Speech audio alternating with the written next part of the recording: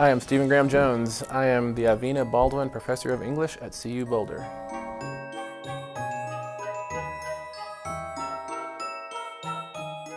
We like to be scared because it satisfies a deep primal need in us. We came up on the savannah with everything wanting to bite into the back of our skull or plunder our insides.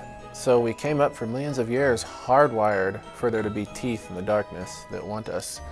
And nowadays, the world is kind of antiseptic. We shine our lights into all the corners, but we're still hardwired to expect that rush, that visceral thrill.